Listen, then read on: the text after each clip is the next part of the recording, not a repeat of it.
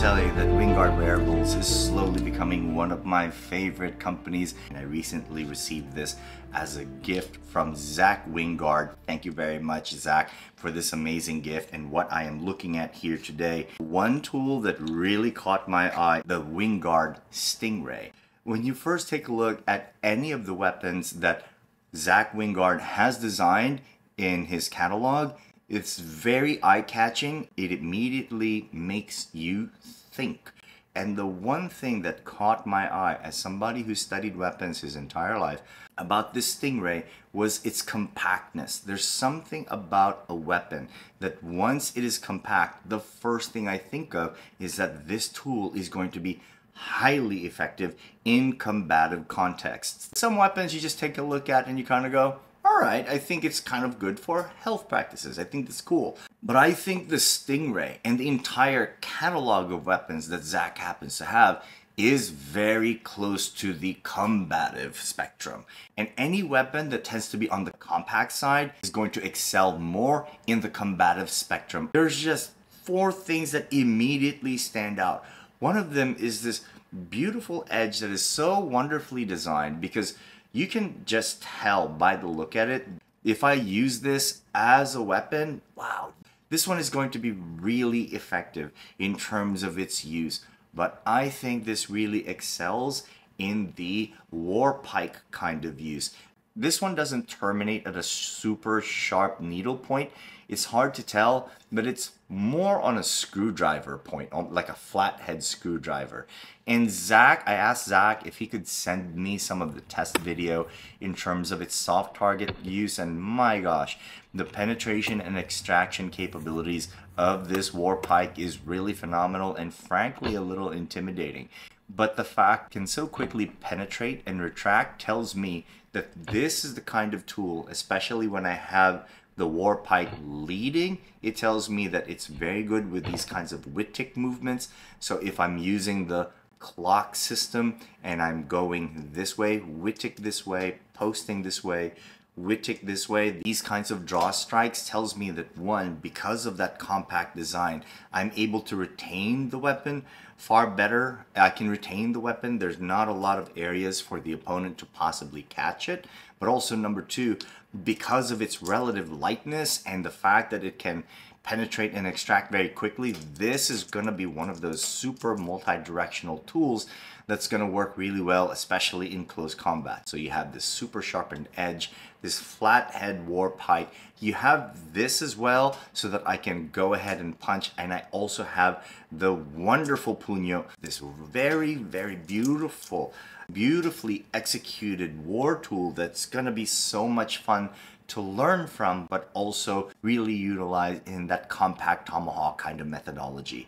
I also really like the aesthetic of it. What you're seeing here, it's called the Stingray, is you see this homage to the skin of a stingray, which I absolutely fall for every time because as you can see, I love my katana and the samegawa on the handle in the traditional models where they have the samegawa, the stingray wrap handle around the handle and I think that's such a fantastic aesthetic choice to be using on this because in many ways it's an homage to samurai swords. I just love this aesthetic so much. But I will say that the critical feature of this tool that makes me think just how devastating it would be, and I know Robin's gonna love this one, is the fact that the majority of its mass is along the war pike versus the warhead. So what's cool about this? It behaves like an imbalanced tool. So think of Kukri,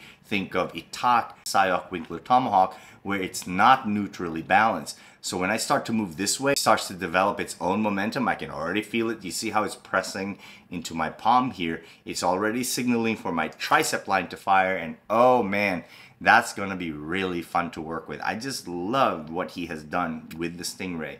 A bit of a word of caution is that I don't think I'm necessarily going to move with the Stingray with the warhead in place. The mass is gonna go towards me, so I'm not too crazy about it. What I do like in terms of the use of this, possible use, is that it's a kind of back cutting capability, but really more along the defensive. So if if I happen to come in this way with the forehand and I need to kind of counter, I can come in this way. So that's what my initial thoughts on it right now. I think the more time I spend with it, I think I'm going to have a few more insights as I spend more time with it. Also, as with all Wingard wearables, it does come with this fantastically designed Vulpes training tool and I think Robin and I are going to have a lot of fun when we go ahead and practice and train with this, which reminds me, we have the Vulpes Sayoc Winkler, so that's going to be a bit of an interesting face-off, but I really hope you enjoyed this video as I go ahead and move with the Wingard wearable Stingray. Thank you for letting me share, and I hope you enjoy this video. Since the majority of the mass of the Wingard Stingray is behind it, it's going to come back and bite you if you put it in the back. You want that front war spike to be in the front so that that front leverage works in your favor. You're going to be working with the Bowie combatives curriculum and pedagogy so that when you move with it, it's going to be a lot of short striking, a lot of whip ticks, a lot of snap cuts, but you're going to have some back cutting capabilities in there also because of that sharpened edge. So I can back cut right across and you can get the back of the neck of your target when you happen to do this. So although it is very compact, it is very versatile and has a lot of offensive capabilities. Let's take a look at the snap cut. Again, it's a basic snap of the wrist going right down the center line, and it doesn't take a lot of power. It's really a true snap of the wrist. There are several targets that I like to use for this.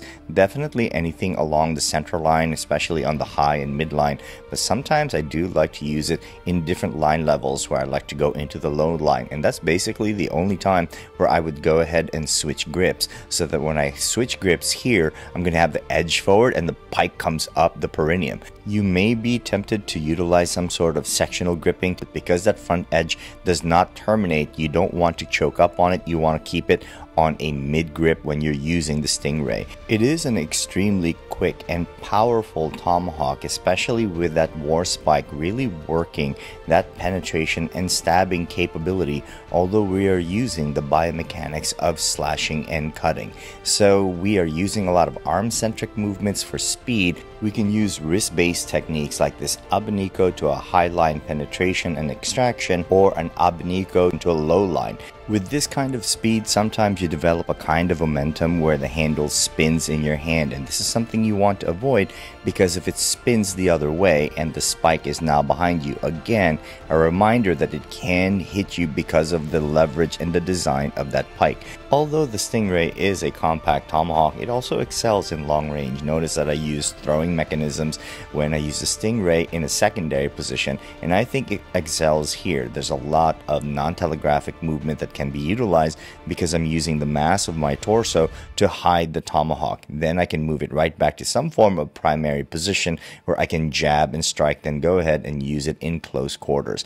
Notice the speed and movement of the entire Stingray, and I'm going to bring up the speed here a little bit just so you can see just how devastating it could be if you use it in close quarters and using primarily arm-centric movements.